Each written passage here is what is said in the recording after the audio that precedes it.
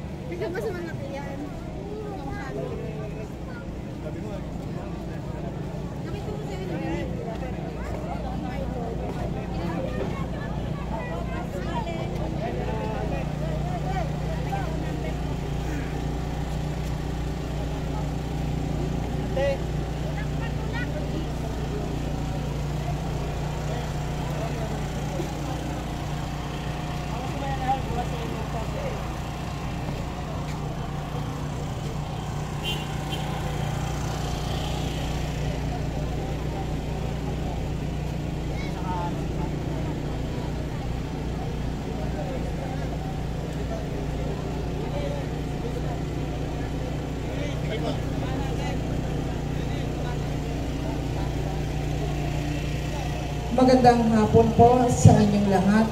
Sa mga bisita po namin dito sa aming ah, parish ng, ng San Francisco ng Assisi, pasensya na po kayo kung hindi namin kayo ma-accommodate sa loob ng simbahan. Puno na po lahat ng ating upuan. Kaya po, ah, manatili na lang po tayo dito sa labas ng simbahan. At doon po sa mga assigned coordinator para kumuha ho ng pagkain ng bawat parish. Nasa pastoral hall po ang ah, pagkain para doon niyo po kunin. Maraming pong salamat.